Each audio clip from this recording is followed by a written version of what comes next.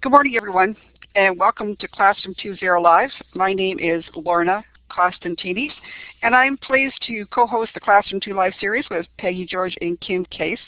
Peggy will not be with us today. She's at uh, CUE, and she has the honor of presenting an award to Steve Hargadon, the, our founder and uh, mentor. He's going to be awarded the Technology and Learning Leadership. Our special guest today is Mark Moran, founder of Finding Dulcinea and Sweet Search, a search engine for students. Each week at this time, we get together to talk about technology, tools, and issues. And as most of you know, our broadcast is an hour in length, and we record the video, the audio recording, and everything in the chat log. And at the end of our show, or shortly after, we post all the information that you saw today on our website in the archive section at live.classroom20.com. I want to welcome everyone this morning. We're very happy that you're with us. If there is someone new in the chat room today, we hope you watched the Getting Started video. Uh, we want you to know that this is not a tutorial and we're so happy to have you here. We'll support you, but we are going to have a discussion which is led by the presenter. We also want to make a special note of Tammy Moore, who is in the chat room.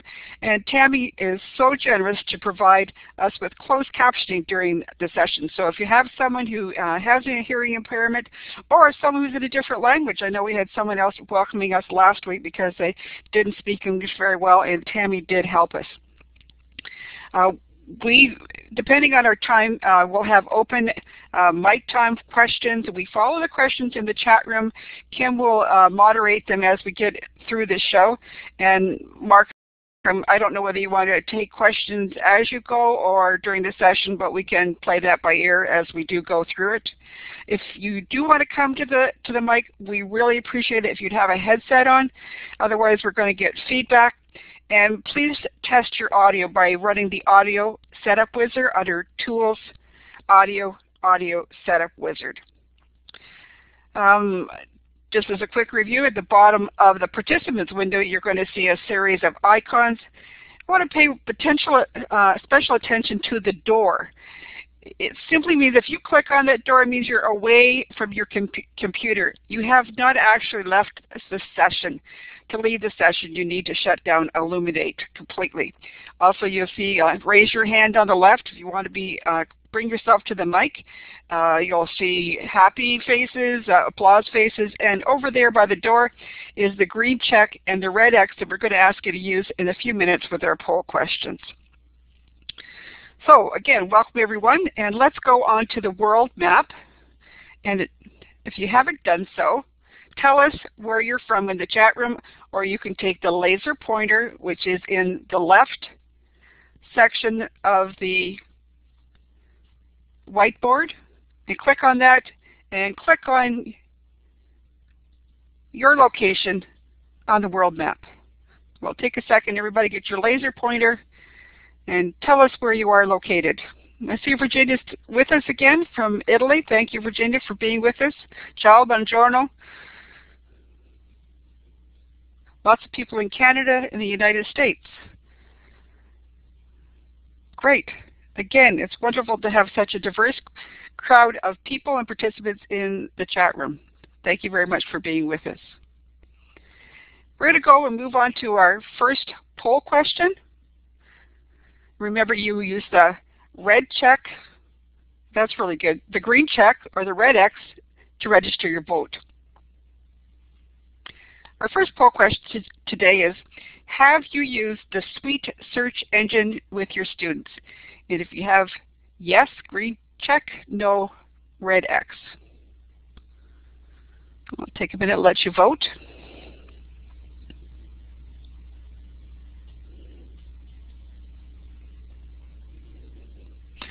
Let's look at the results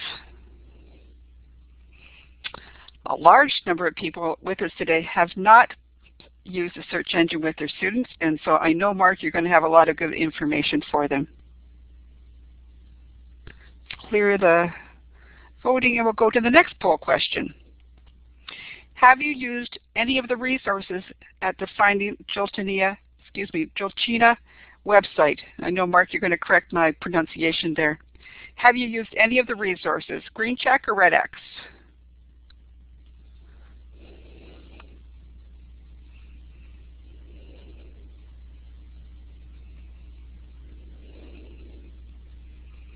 I think everybody's just about voted, so take a look at the results. 63% have used them, have not used them, pardon me, and 14% have. So again, new learnings and new information today.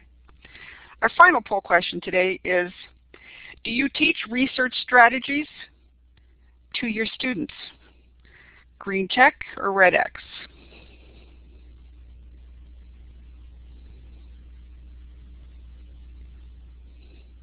Looks like lots of people have and are using them. So let's take a look at the results. There we go. 70% of our participants today do teach research strategies to your students. Great. Thank you very much everyone for participating in the poll questions that really, really help our presenter as we go through today. And with that, it is my uh, pleasure to introduce our guest today, Mark Moran. And the topic today is Sweet Search Engine and Research Strategies with Students. So our newbie question, which we're going to ask Mark to now take the mic, introduce himself, and perhaps start with our uh, newbie question and what is a search engine? And if you don't answer it now, I'm sure you will do so during the show. So thank you very much, Mark, for being with us today. Let's activate your mic and take over.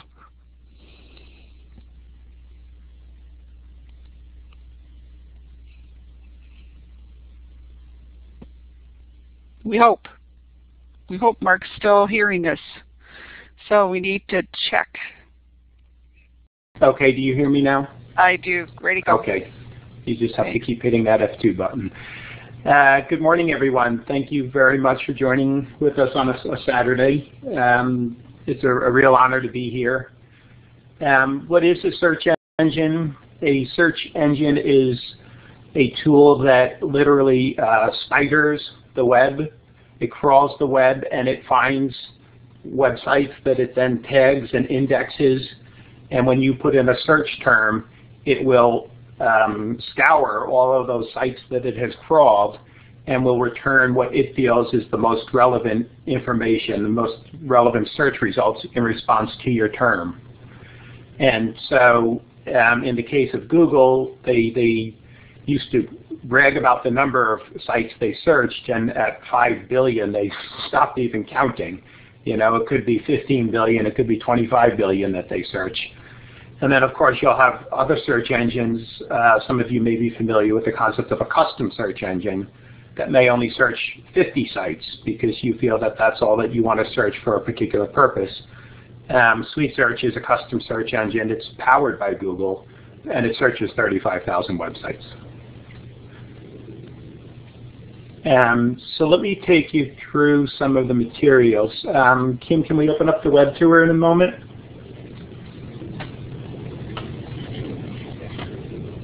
Go right ahead, do um, open it up, and do whatever you would like to show. Okay, very good. Um, so I think the reason almost everybody is here today is because they know that most students cannot use the web effectively. And we've made it the entire mission of our company now to help teachers and librarians teach students how to use the web effectively. We've created all sorts of content and tools uh, in furtherance of that mission. Um, to give you my background, I'm a, a, corporate lawyer. I practiced for about 16 years, and uh, the last nine years was at an internet advertising company we represented about a thousand websites. We sold advertising for them. And so I became very, very familiar with thousands of websites early on. And I always thought that the web would sort of level the playing ground for everybody, that they, everybody would be able to find great information right away using it. And of course, that never quite happened. And so we set about on this mission to index the web a, a, little better than we felt search engines had been doing it. Um, I've had a full-time staff of as many as 28 people. We've worked with about 50 outside freelancers, all subject matter experts, uh, probably the majority of them teachers and librarians that helped us create our tools and create our content. Um, I don't want to go too much into the, the, the notion that students can't use the web effectively because um, I think everybody is aware of that and that's why they're on their phone. Uh, just to answer a question, this is all absolutely a free service. There is no uh, subscription whatsoever. It's uh, just available on the web. Um, the first thing I want to point you to just quickly uh, is this presentation that we gave to the New York State Conference on the Council on the Social Studies Conference on Thursday. And so if you go to this URL, this is a page that consolidates all of our social studies resources and it has the presentation that we gave. And we did a study of students' web research habits, um, went through some historical studies, and everybody's always concluded that students cannot effectively search the web. And um, so we made some recommendations in there. Uh, we'll be augmenting this presentation throughout the weekend since we obviously presented it at a conference with uh, fewer visual, with purely visual cues and fewer words. Um, so you might want to check that out on Monday if you want to further explore that topic. Um, so as I said, uh, and, and then another resource we have for teaching uh, specifically effective research skills is um, 10 tips for researching the web on sweetsearch.com. This consolidates a lot of the learning. It links out to URLs if you want more information on this particular tip. Um, some of those links are to our information and some is to the best outside information that we found. The um, first website we created and, and, kind of the core of the company is Finding Dulcinea. Um, this is set up as a directory site, um, somewhat similar to About.com perhaps. And what we've done is create three categories of content, web guides, beyond the headlines, and features. I'd like to show you a web guide first. This is what we call the mother web guide. It's how to search the web. If you read this all the way through and really understand it and, and uh, recall everything from it, you may not need anything further. And if you look on in this guide, it says, what is the internet? How do you judge website credibility? How search engine works? Choosing a search engine. So um, it really explains the entire structure of the web um, and, and how it works and how you can navigate it successfully. And then if you look down under more guides Mark, on the right, those are all the categories of guides. We're not seeing yes. that, so can you show another web guide? Okay, I sure can.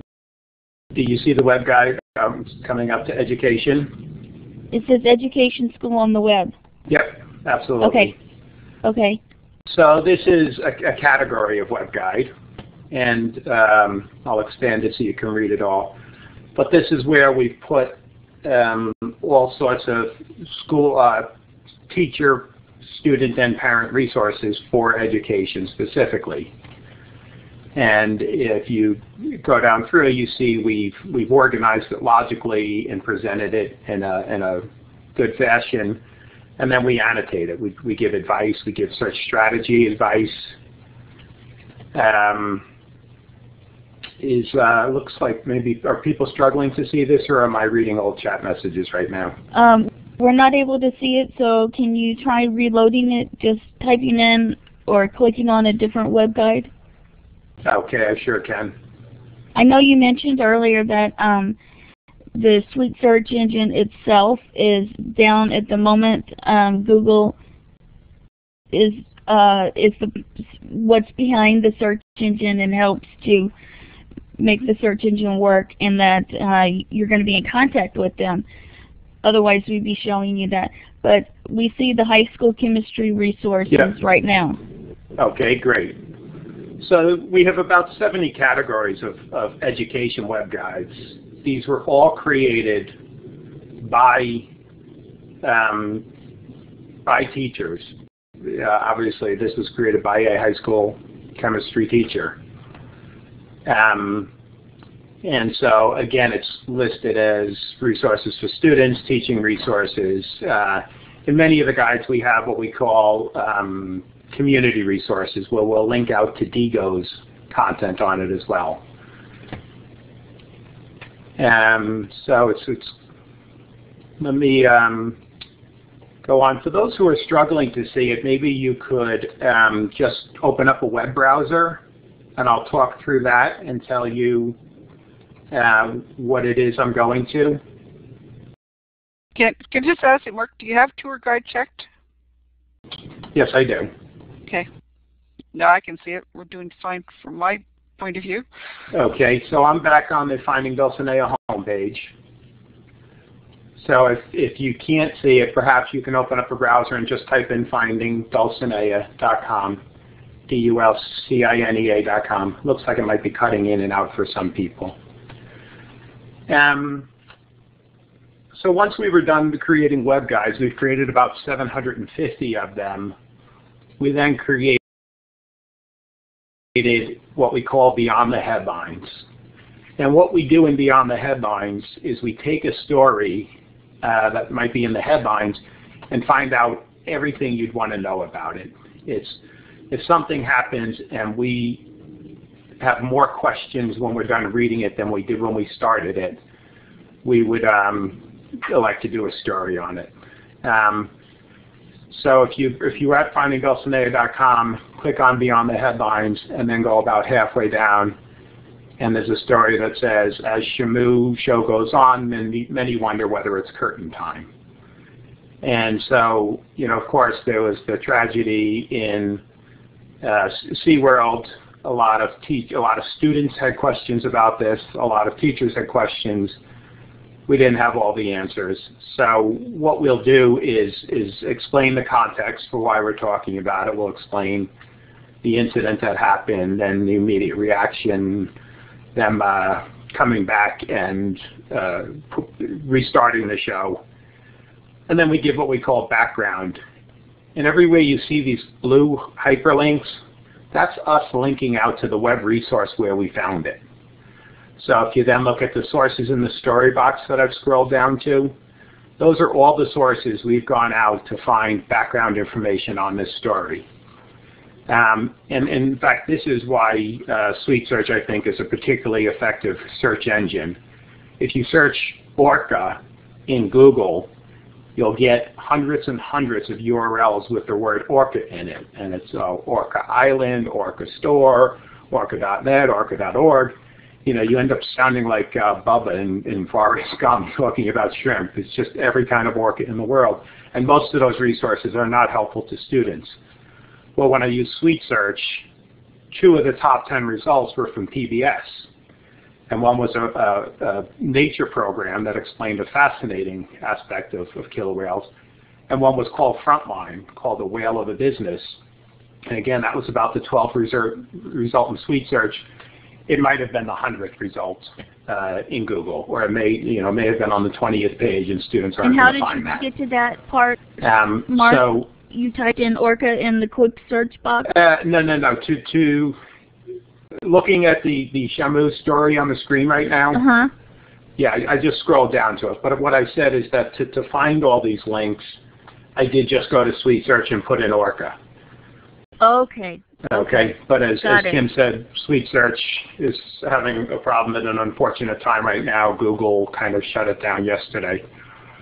Um, to answer the question, what's the relationship between Sweet Search and finding Dulcinea? I'll, I'll explain that in a, in a second. Let me just finish explaining finding Dulcinea, and then you'll immediately understand what Sweet Search is. Um, so so these are, we've, we've written about 10,000 news articles like this on uh, finding Dulcinea. Um, many of them are education related.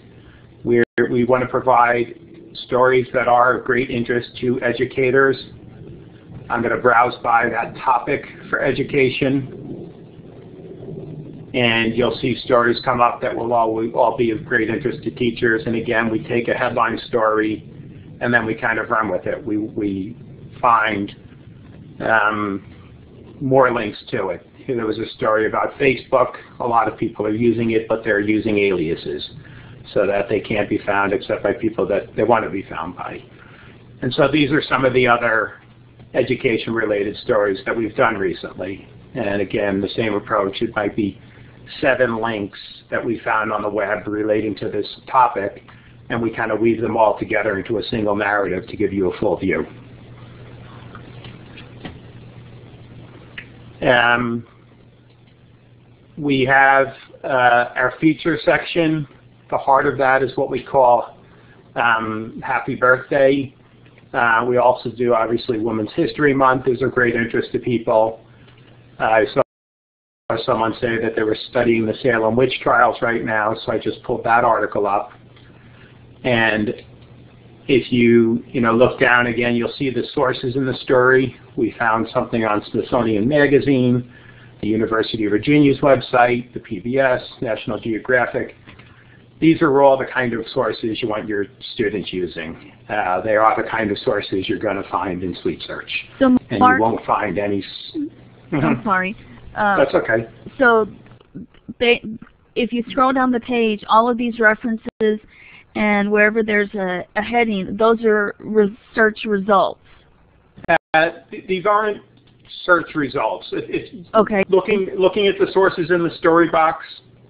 We went and found all these Okay. articles, and we read all these articles.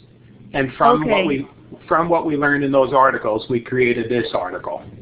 I see. Okay. Okay. And so in this first paragraph, Salem, Mass. is the site of one of the most gruesome moments. On the fifth line, you see a blue hyperlink.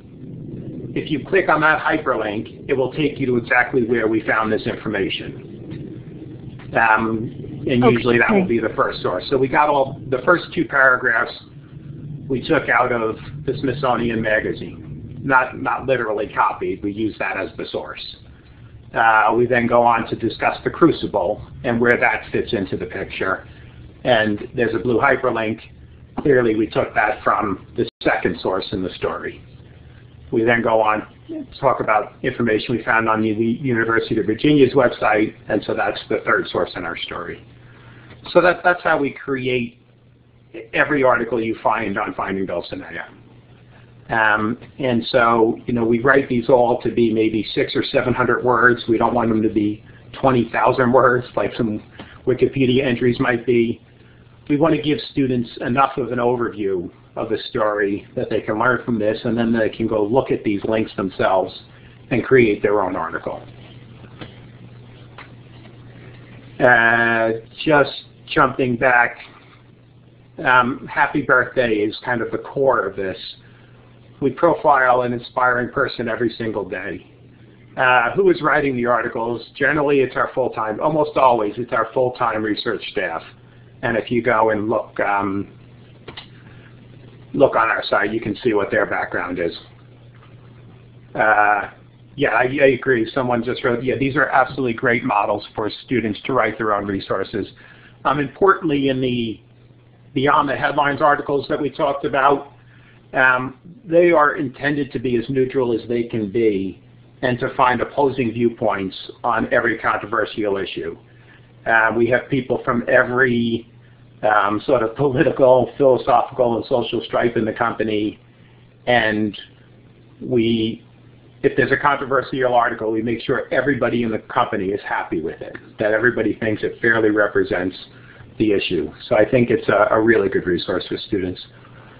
Um, so on Happy Birthday, again, we give a brief biography about somebody, what their notable accomplishments are, in other words, why we care that we're reading the story, and where they are today. And actually 90% of these we write are for people who are uh, long deceased.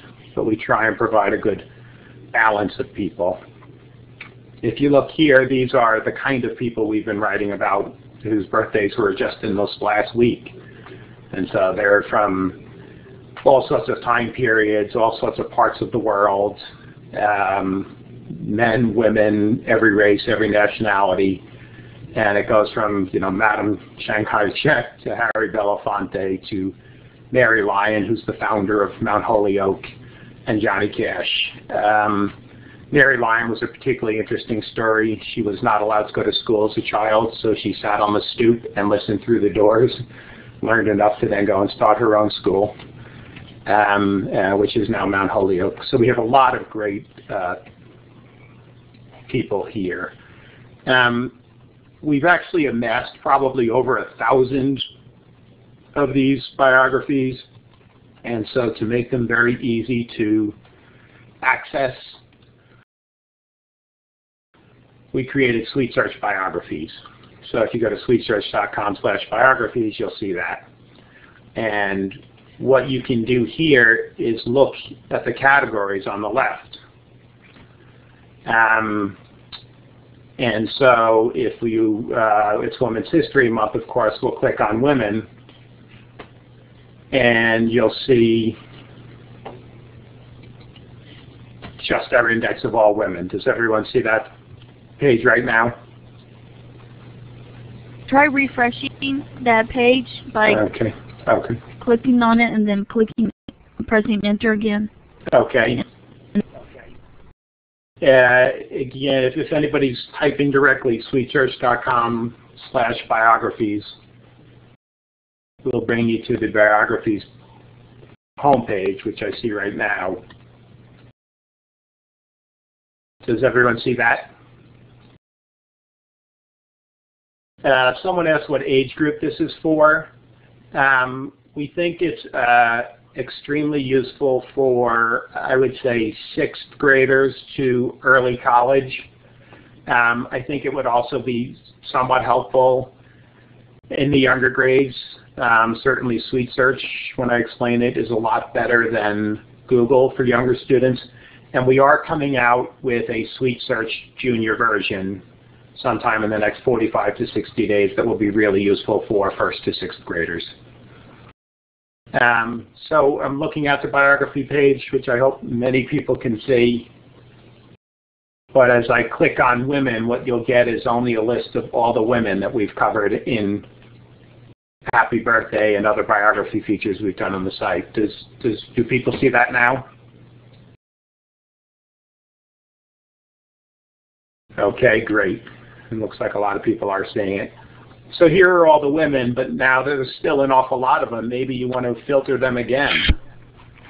So let's just filter for African American women. And now you see just that. Um, I can see it looks like it's cutting in and out for people, but suffice to say you can search for just women, then just African American women, and then just African American women who are activists. And that will list uh, just that page. And if you click on any one of these, what you're going to get is um, our happy birthday result of that person.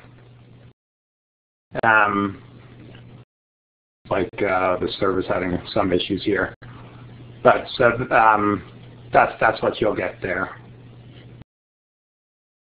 Um, okay. Let me uh, move on now. So people asked what's the difference between finding Dulcinea and Sweet Search?" And the, um, let me just, I'm sorry, show you one more blog post I wrote about Sweet Search biographies. Hopefully everyone will be able to see. Uh, can you see the blog entry that's up right now? It says Beyond Jackie and Rosa.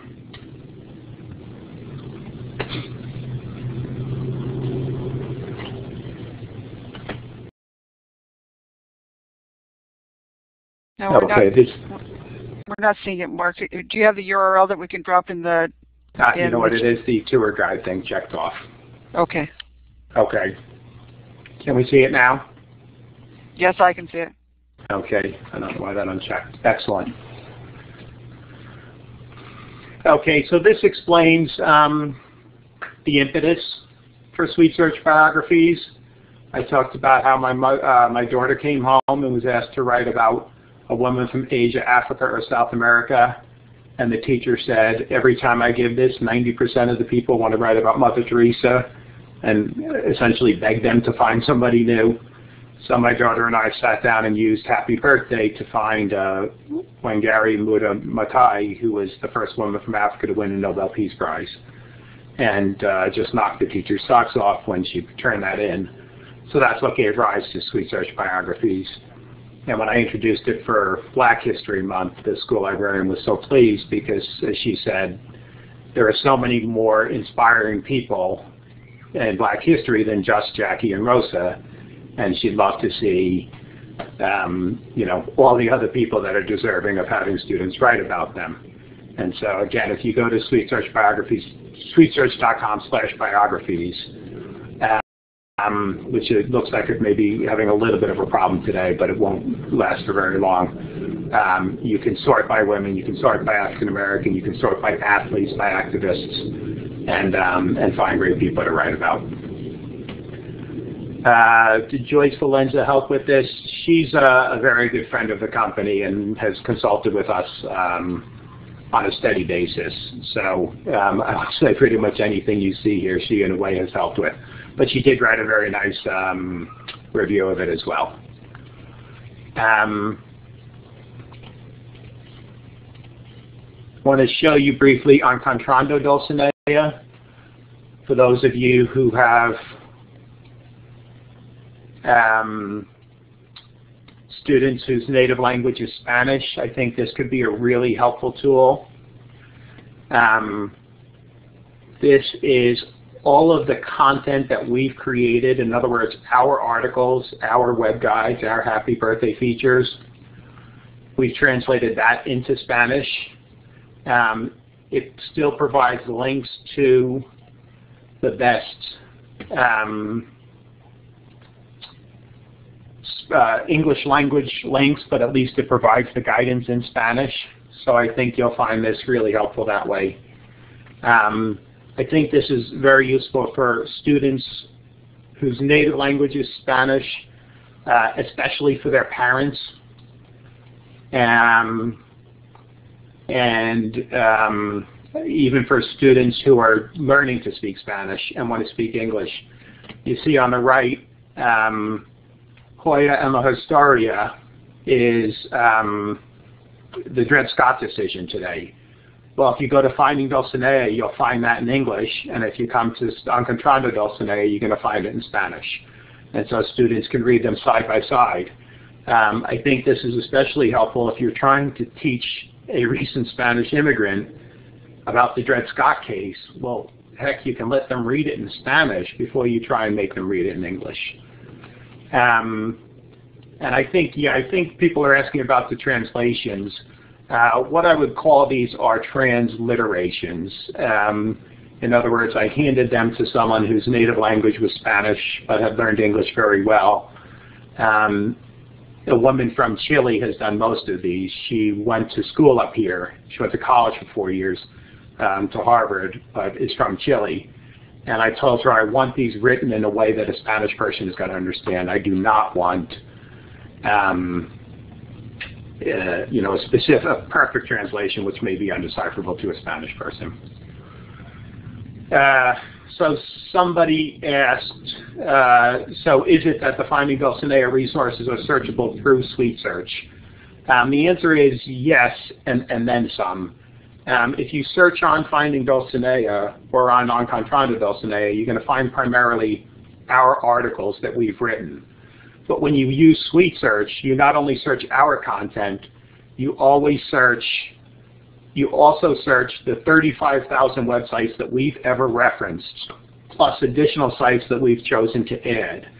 And so, you know, everybody's familiar with all sorts of educators that create the 10 um, 10 top websites for this or 25 top websites for that. When we see those lists, we go through them ourselves. We often find we already have most of those sites in Suite SweetSearch, but if we don't, we evaluate them, and if we agree with their evaluation, we then include them in SweetSearch. Um, I also went and looked through the entire .gov file and was happy with the credibility of all those sources, so they're all automatically in here.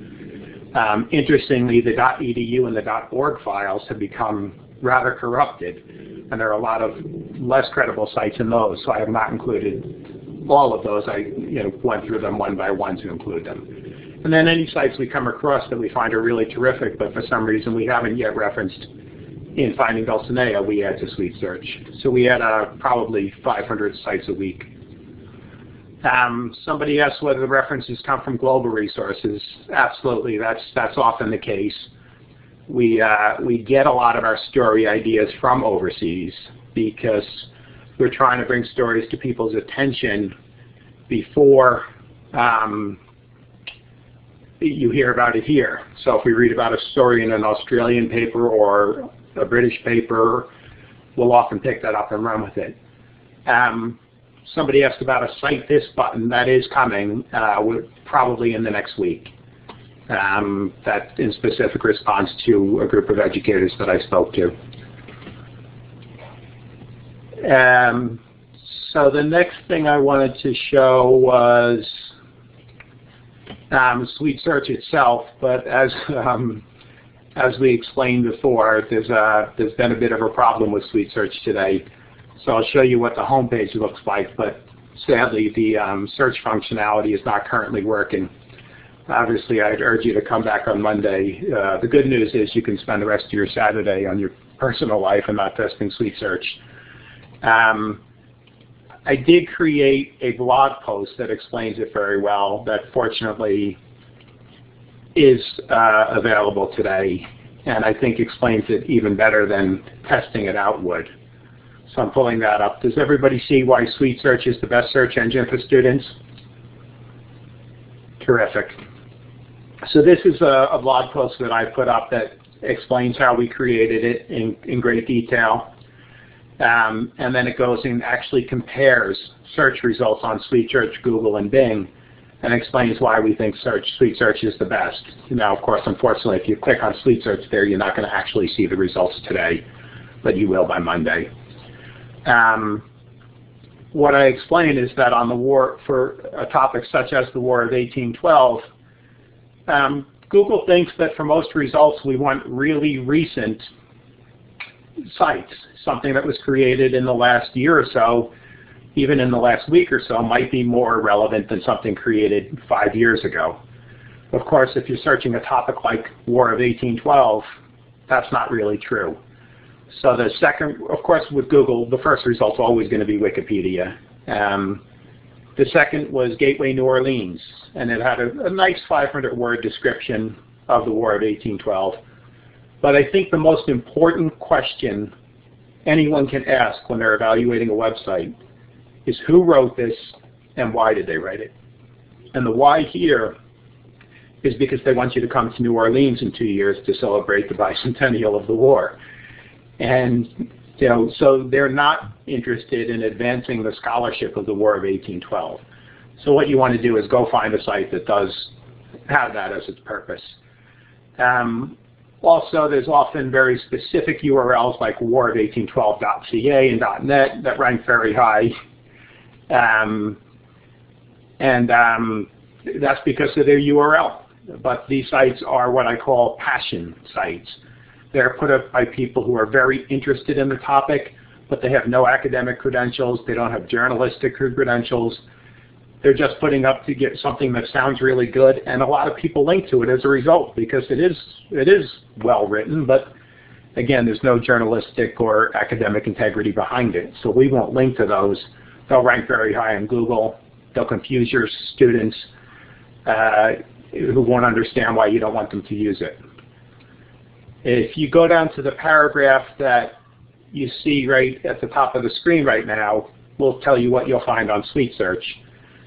The first results of the Library of Congress's entire collection of primary source documents on the war. I can't find that on Google. I think it's on the 6th to 10th page perhaps because I've been looking and looking and can't even find it. There's a ThinkQuest, there's a U.S. military site, and then what really is the magic of Sweet Search? There's a lot of really terrific sites created by university professors, but for a general audience about African American freedom fighters, political cartoons, the Star Spangled Banner. Those don't rank very well in Google because their authors don't make any effort to game the system and make them rank high. And so the, the sites of the people who, who do that rank much higher than these fantastic university sites. On Sweet Search, these end up on the first page. They'll end up somewhere between the fourth to seventh page on Google and as you know, if it's on the fourth page, your students aren't finding it. Uh, we present the results of Sweet Search uh, for Shakespeare. Same kind of thing. A lot of passion sites on Google, only sites with academic integrity on Sweet Search. Um, want to talk also just quickly about a another tool we've created called Finding Education. It's a, another free product. It's very simple. And here's a demonstration page I showed, which will come up shortly.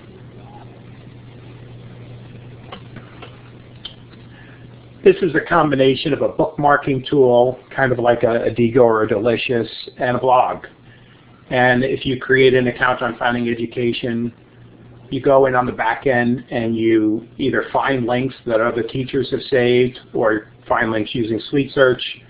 You save them to your library and then you can publish them to an assignment using a tool that's very much like a blog. So that's uh, a brief explanation of that. And of course, go to findingeducation.com. You'll find a lot more.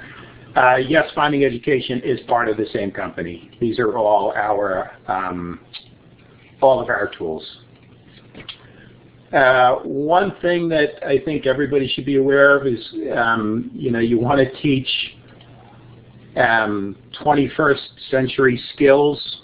We've created something called the On This Day Challenge that we feature on Finding Education, um, where we ask students to actually create their own uh, on this day, just like the ones that we showed you before. Um, and so here's um, how students can do it.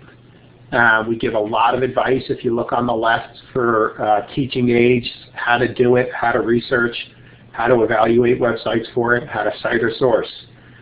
And uh, we're actually going to make it even easier to enter. enter. You'll see something uh, next week that there will be alternative ways to enter. But if there are any really well done on this days, we'll publish them on our site as student work. Um, we think that will be uh, obviously very exciting for students. And um, we also have monthly prizes and year-end prizes for people that actively participate. So students can write this as individuals. They can do it as a group. You, know, you can have five students um, assigned to write one of these together. Uh, we just want students to start picking up, um, you know, the skills, 21st century skills, and we think this is sort of the ultimate 21st century um, exercise. I think I might have skipped on this day now that um, saying I've shown it to you, so let me show that to you right now. This is back on Finding Dulcinea. This is uh, my reaction to those newspaper lists you see every day of events in history where they hardly tell you a darn thing about what really happened. They just list it. Um, the board should be up. Is anybody having, can people see this now, the on this day category page?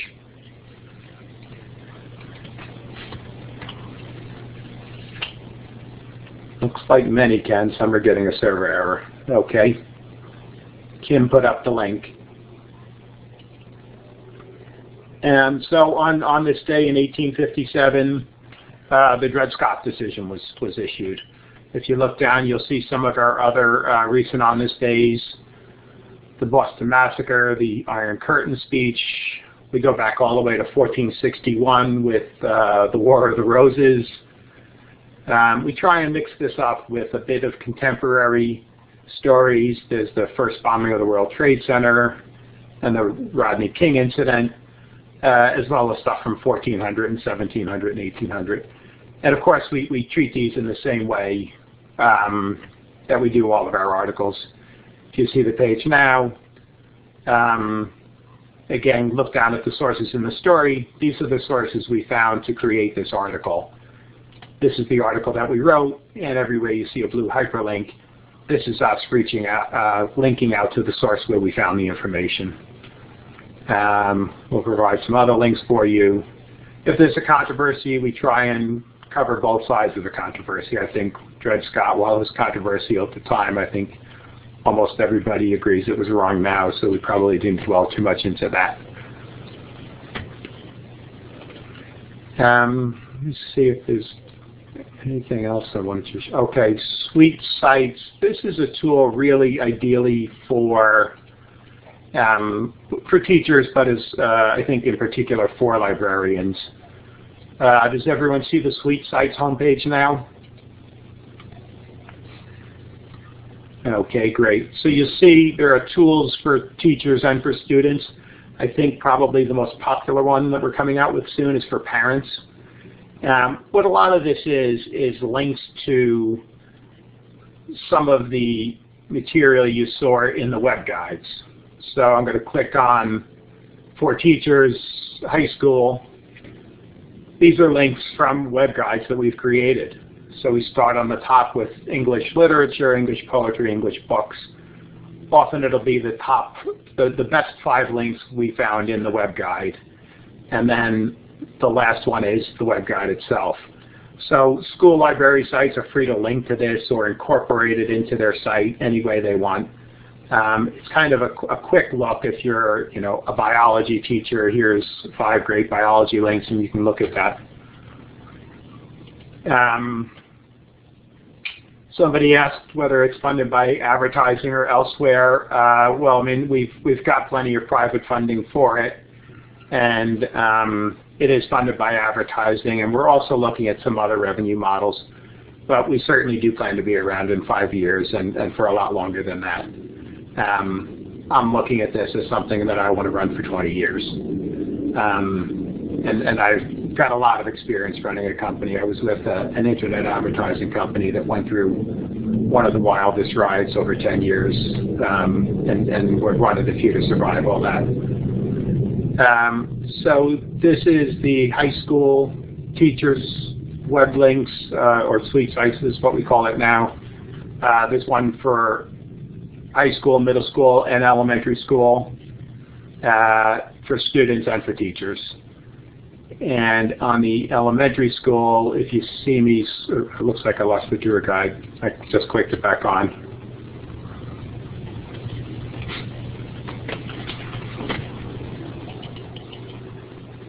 Uh, somebody asked if we click on the Amazon link. Yes, that's Amazon is our primary advertiser. So if you click on Amazon and, and bought something through there, that would be helpful to us.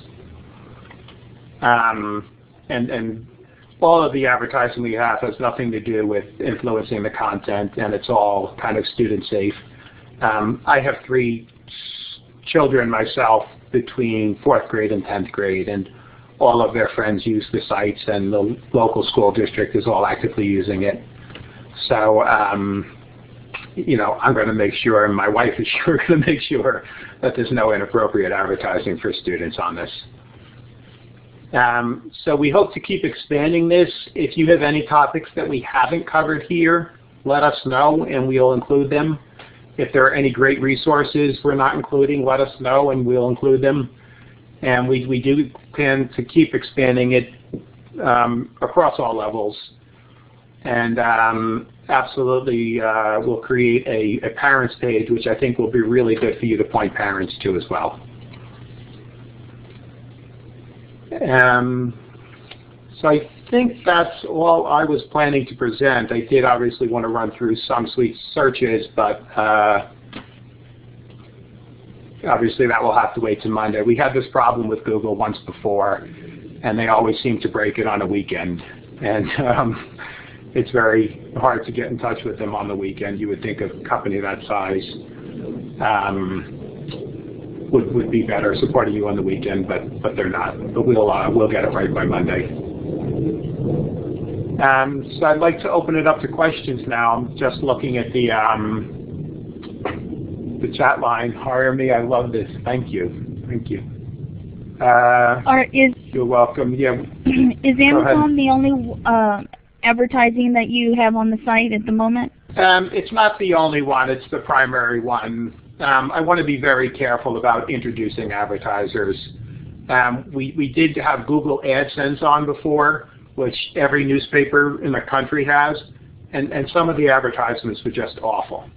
And so, you mm -hmm. know, we're mm-hmm. putting we're putting Definitely. too much work into this to scare people off with ads. And so, well, you know, I, I know yeah you know, I'm very familiar with the internet advertising industry. There are a lot of places you can get only high quality ads, and that's that's what we're going to do. Um, on some of the other categories like sports or health, you'll see some other ads that come specifically from someone who just sells sports ads or just sells health ads. Yeah, I see a great quote there. They never want to see another get rid of belly fat ad again, and I certainly feel the same way.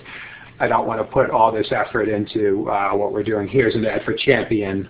You know, those are the kind of ads you're going to get on our um, sports uh, sports sites and health sites will also be, you know, Advair and, and things of that sort.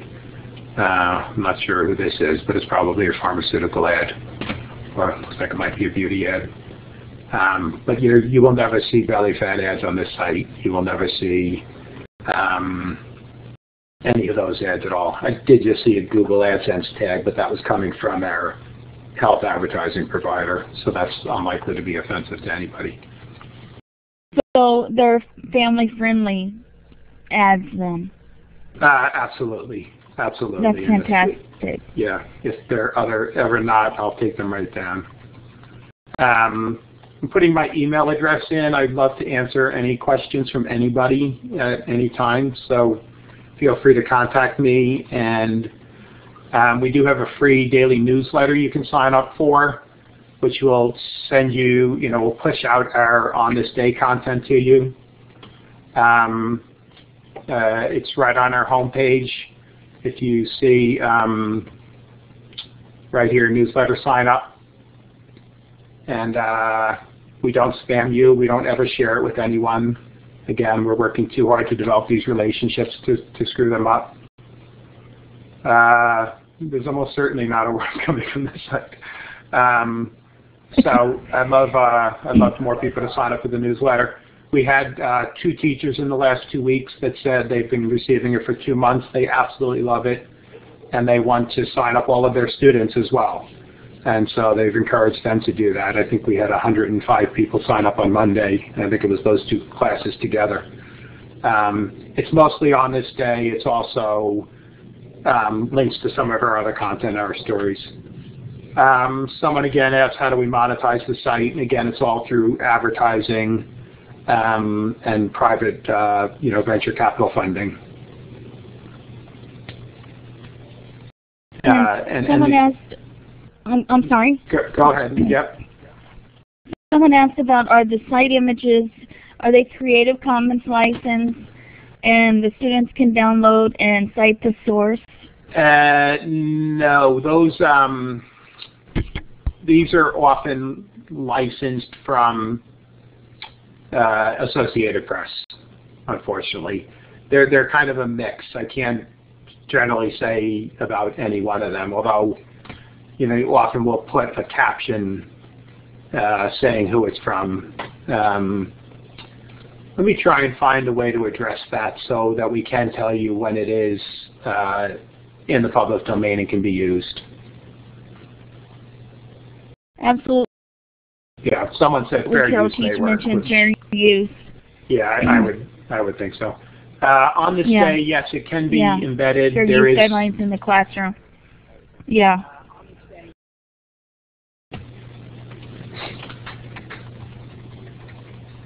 There is a widget for Sweet Search that can be embedded on the website.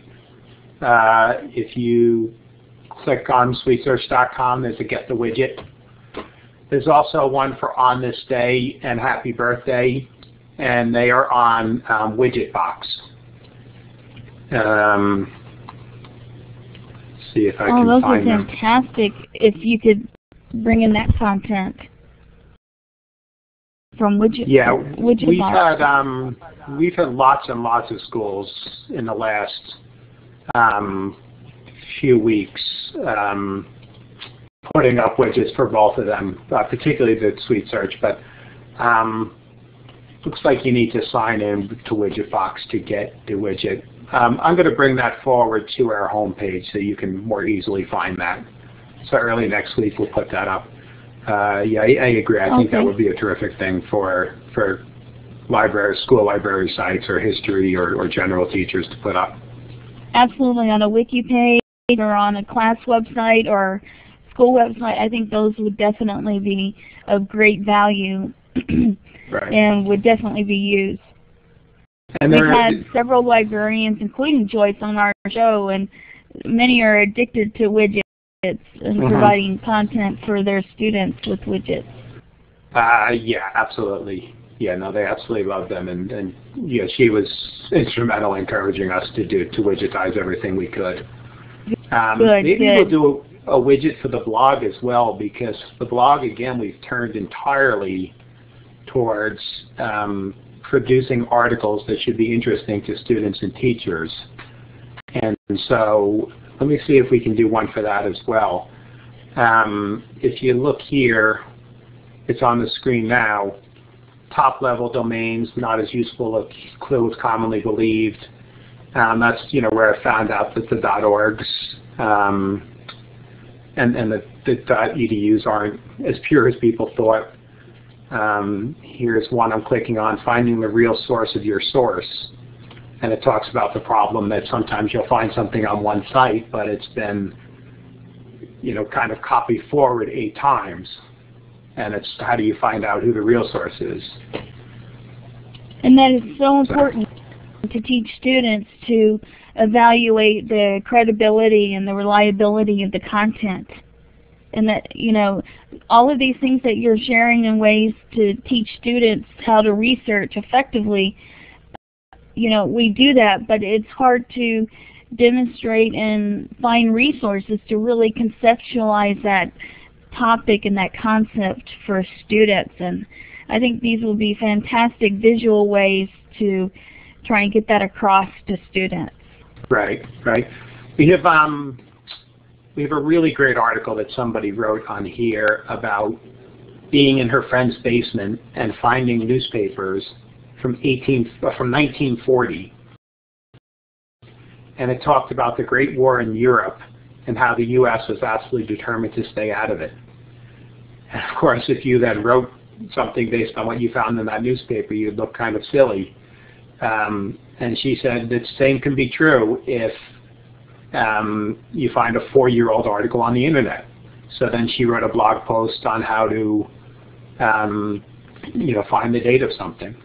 So you see, all of these uh, articles on the blog are really education-oriented right now and, and geared towards helping you um, improve web research.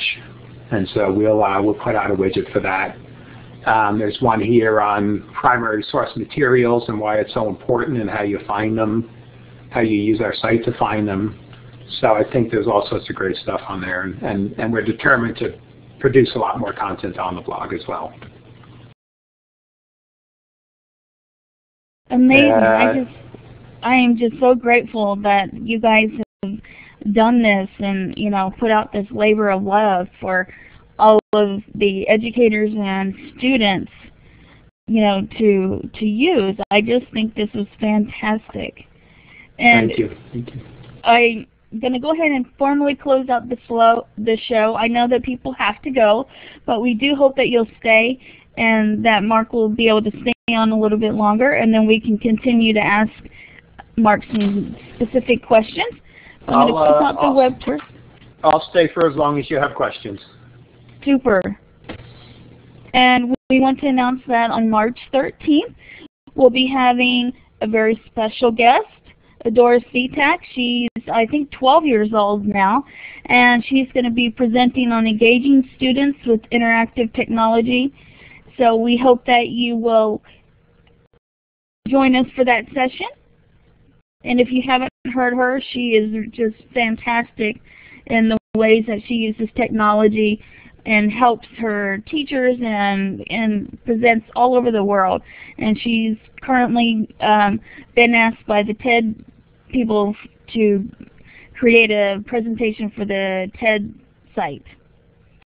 And on Tuesday, March 9th, Steve Hargadon will be interviewing Bernard Robin on educational uses of digital storytelling, part of the Merlot series. And that will be at 5 p.m. Pacific and 8 p.m. Eastern. And on Wednesday, March the 10th, Steve will be interviewing Jim Gemmell and Gordon Bell on Total Recall, part of the Conversations.net series. And that will be at the same time, 5 p.m. Pacific and 8 p.m. Eastern. Oops, and I forgot to bring that down where you can read it. And it's copyright and fair use in the art world and in the classroom. That should be very interesting, talking about the images that we just were referring to earlier. on Wednesday. It should be Thursday, March the 11th at 5 p.m. Pacific and 8 p.m. Eastern. And on the same date, it'll be Sharon Peters on Teachers Without Borders at Thurs on Thursday, March the 11th at 5 p.m. Pacific and 8 p.m. Eastern. The previous one on copyright is part of the PBS series, and this one is part of Steve Hargadon's Future of Education series interviews. There will be a survey that opens up at the end of the session, and we hope that you'll give us feedback and suggest future topics. We know we had some difficulties with the web tour. It takes a while to load and to catch up. Some days it's slower than others. But we hope that you'll continue to give us great feedback and ideas for um, suggestions for future topics. And if you'd like a certificate for today's, um, if you're reviewing the video, the full recording, or if you are in the live sessions, you can input your name and, and email address on the survey link that pops up. And if for some reason the survey link doesn't pop up or you're not able to uh, access it, you can always email us at live or live at classroom20.com is our email address that you can email us and let us know you didn't get the certificate or the survey link or you watched the video and you'd like to get a certificate. And we would like to extend a very special thanks to Mark Moran for joining us today and for Steve Hargadon, who is the founder of Classroom 2.0 and Future of Education and Conversations.net and a few other sites.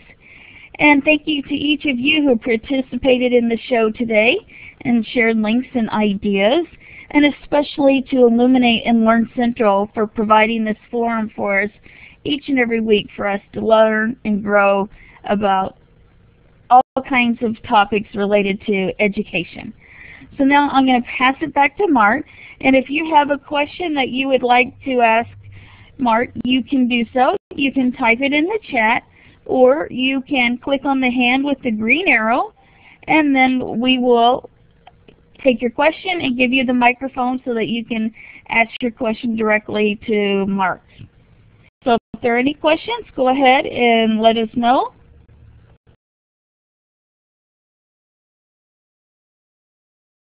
Does anybody have a question that they would like to ask that I might have missed from the session?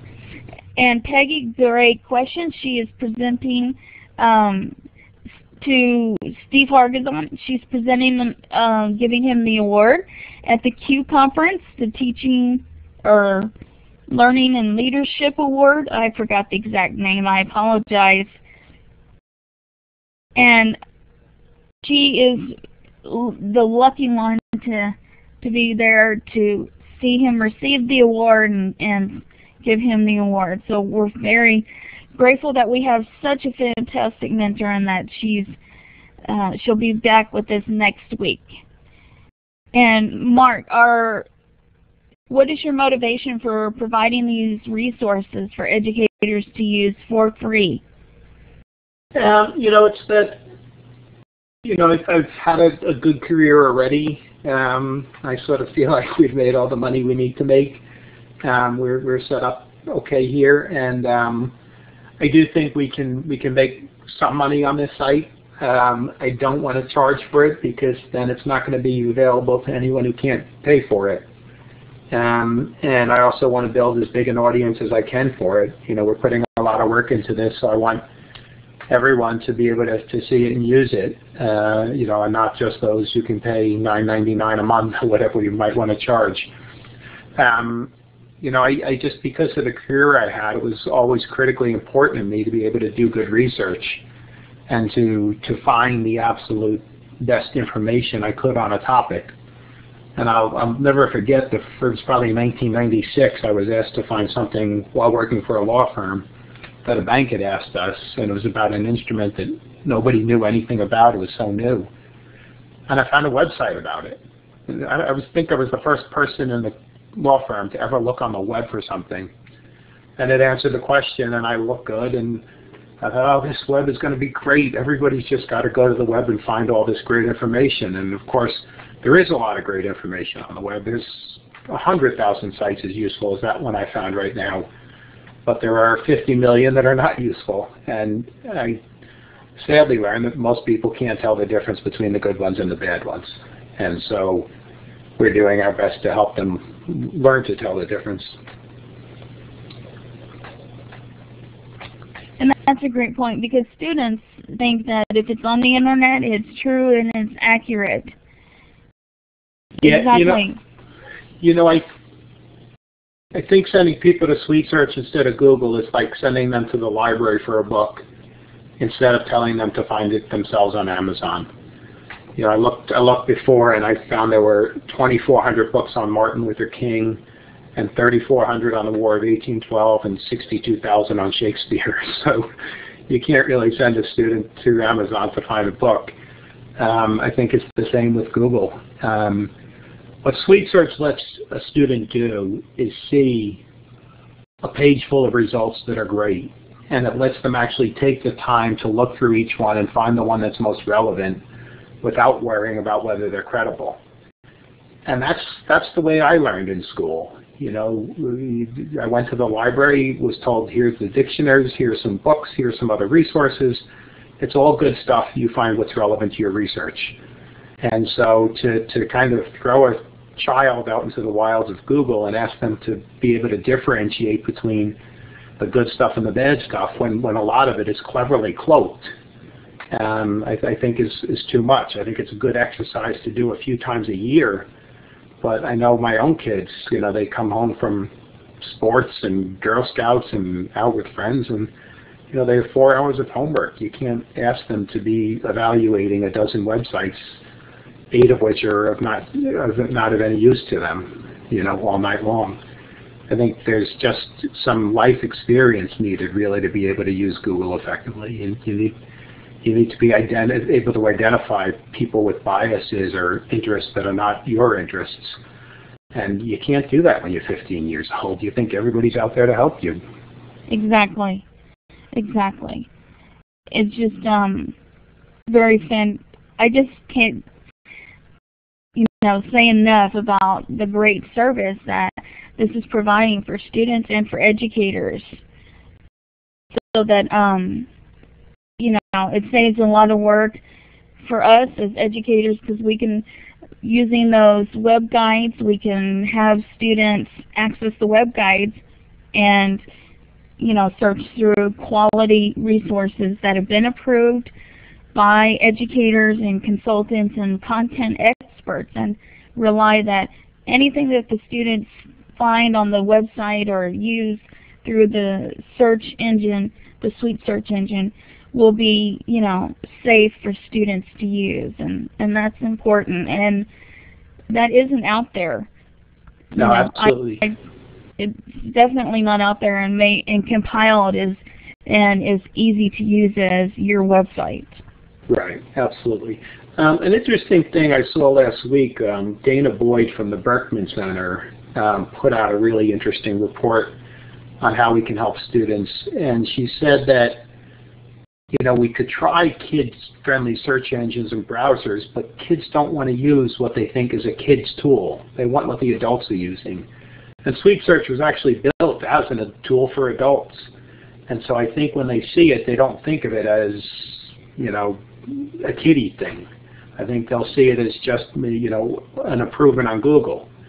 Um, you know, I do want to point out this is not like, um, you know, maybe a KidsClick where search return, search uh, queries are blocked or anything like that. If people put in, you know, maybe sexuality-based terms, they will get results if they're in our index, but they'll get it from information sites, from the New York Times, and anybody else in our index that's discussing it.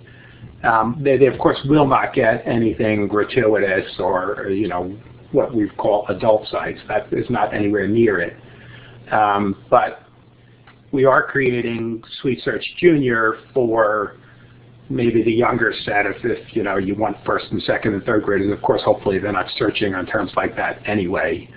but what you will get from Sweet Search, as I said, is information-based results for those terms. And Timmy brought up an image search tool would be great also. I think that's a great idea. It is, uh, for some reason, Google doesn't provide that in their custom search yet, and they're ambivalent about whether they will. And I think we uh, may go around them and find um, somebody else instead um, uh, to, to, to, provide kind of curated image search. I think that would be really useful. Um, I think it would be too. Um, Sherry Edwards wrote that she's in the middle of a research project, and even though they've learned website evaluations, the kids still want to believe unbelievable sites. Um, and on, in the presentation we did the other day, there was a study, I think it was fifth or sixth graders in the Netherlands, and they found exactly the same thing, that kids were taught for several days about information literacy and how to evaluate a website. They then went and used Google, and they looked at the first three sites. They did no evaluation whatsoever. They just, whatever was in the first three sites was what they turned in. Um, it just seems to be a step they have difficult processing at the moment. Um, so that's that's why we think Sweet Search is particularly useful. And it can be human nature sometimes to, you know, do what's easiest to get the the job done with the least minimal effort. So if whatever the three sites or first couple of sites are that come up, they're going to go with it regardless of whether it's accurate and good content relevant to their topic. Right, right. Yeah, I think that's why searching a curated pool is is really the way to go. I think I think librarians and teachers should do more to just hand students a list. Okay, here's here's 10 sites relating to this topic. You can only search these sites. You can't search Google. And and yes, make them that's what use I this, used to do. Mm-hmm. You know, make them use the site's internal search function to find what's relevant on the site. Um, but I think you know I think that, that the three critical steps are making them plan the search. You know, students are not planners. Make them think about the keywords, come up with a strategy, and this is all covered in the presentation we put up on sweetsearch.com slash social studies. And so it's make them plan. Um, you know, somebody said to me that kids aren't allowed near the computer until they approve the keyword list um, until the, the teacher approves the keyword list. And then the second one is the right place to search. And as we know, it's not always Google. It's certainly not Google alone. You know, you should make them search two, three, four, five search engines. Um, and actually on Sweet Search, when you search and see the Sweet Search results, there's a little radio button to go to Google. So that you don't even put the search term in again. You put Shakespeare in Sweet Search, you see the results, and then you just click the Google button and you see the Google results. Um, and of course, there's a lot of meta search engines like Dogpile and Zuula, Z-U-U-L-A, that will search, you know, five or ten search engines at once. Uh, and then the third step, of course, is evaluation, where, as we've been saying, students don't really care to um, take that step. Mhm. Yes, unfortunately. But um, I haven't seen anything that um, online or anywhere that compiles the resources that are completely approved. I know NetTrekker does that to some degree, but NetTrekker last I was when I was in the classroom and stuff, it was rather expensive to subscribe and use the NetTrekker search engine. Although mm-hmm. they, you know, offer great things, you know, it's sometimes cost prohibitive and you cannot, and budgets just aren't allowing for that nowadays. Right, right. Yeah, no, it's getting harder and harder for schools to afford that service. Definitely. You know, we'd love feedback on anything you find in Sweet Search. If you ever do find anything inappropriate, which, you know, or not, you know, let us know. Um, and if you can think of sources that are not in there that should be, we'd like to know that as well. We, uh, I spend much of my weekend looking for more resources for Sweet Search. Probably at 500 sites a week. Like that, yeah. Yeah, that you can laugh at the inaccuracies. And we did a show in the past on the allaboutexplorers.com website where mm -hmm. it's kind of a farce and satirical uh, content that the students would research and do web quests, and then they have to determine what is accurate and what isn't. Like um, one of them, uh, I can't remember, but it was like Christopher Columbus checked his, used his cell phone or, you know, to call somebody or something like that. You know, that obviously if the students are thinking about what was offered in 1492, cell phones were not around. So, you know, just to help students really bring out the idea that they need to be critical and thinking and critical readers when they're evaluating this information. Right. I'll type that address in. It's it's hilarious. I I just think, you know, I crack up whenever I read that site. and our um, the show is in our archives. Carol, if you wanted to go back and explore the resources as well as the recording, because we had the two um, developers on. And if you read their bios, their bios are bizarre too. And then they give you the link to their real bios. But um, it, it's just, it's all along the same content. It's really hilarious and funny. And thanks for putting your Twitter address so that we can follow you and get updates on the content that you're producing and anytime you expand what you're offering to educators. It is invaluable, you know, um, as MasterCard says, priceless. Oh, let me get that link for you, Helen. It's also on our Gwen link because I just added it in there. I updated it.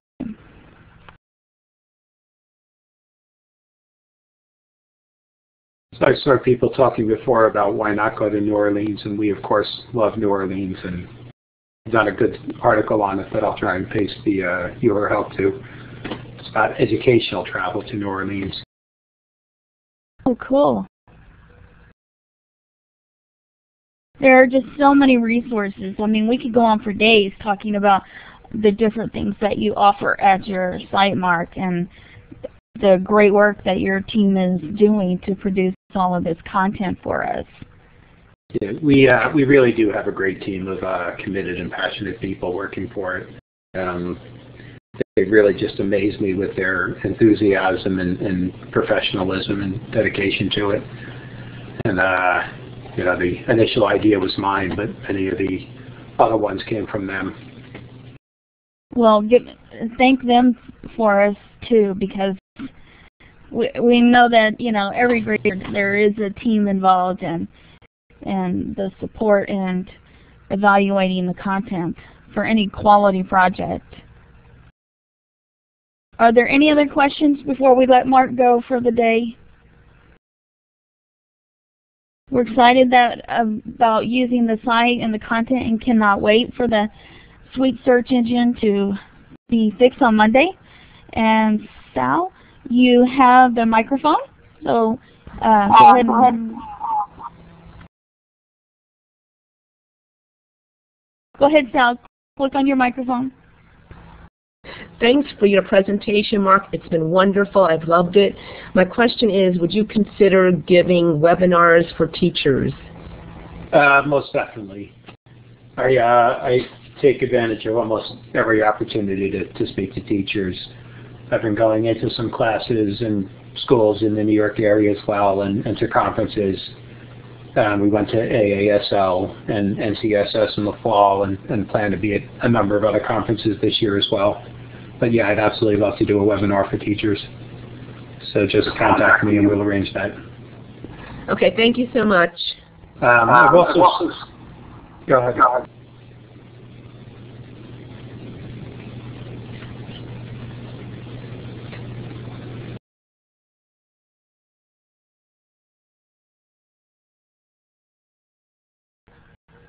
Sal, did you have another content, another question to ask? No, but I lost uh, the sound.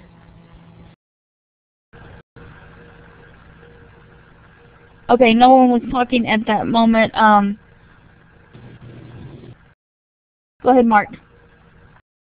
Yeah, I, I, said I can hear. I I, uh, I didn't have anything to add. If there's a question, I'm happy to take it.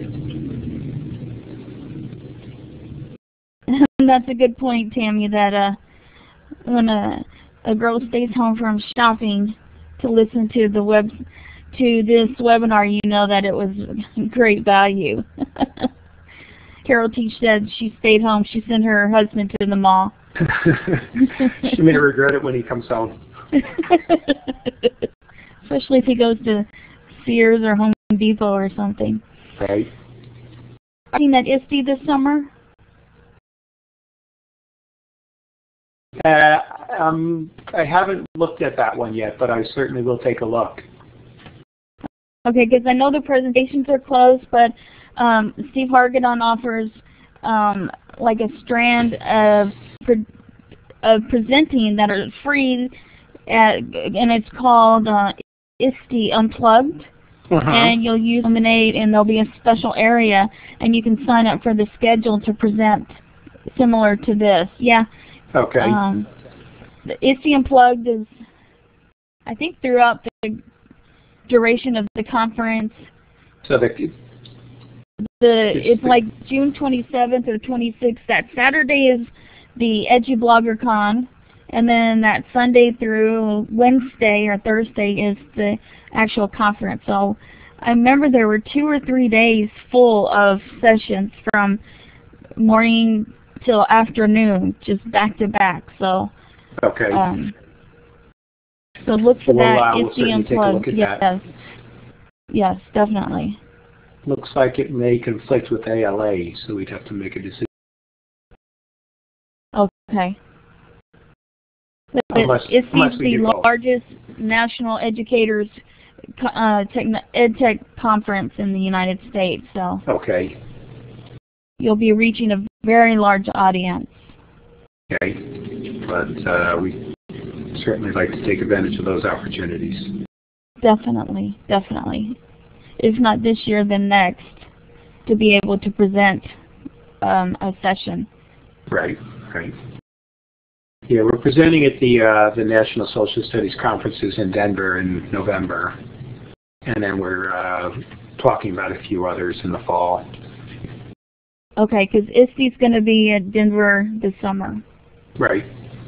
So, Okay. well, this has been so fantastic, Mark. We are so glad that you uh, joined us and took time to share all of your resources. We can't wait for Google to get their end together so that we can use these resources. And that's great that you put in your email. Just direct any of your questions to Mark, or if you'd like him to present for a webinar or, a session somewhere for you, just let him know. And be sure to join us next week for little 12-year-old to be presenting Adora Svitak if you haven't ever heard her. Um, she's been described as a child prodigy, and I can definitely concur with that.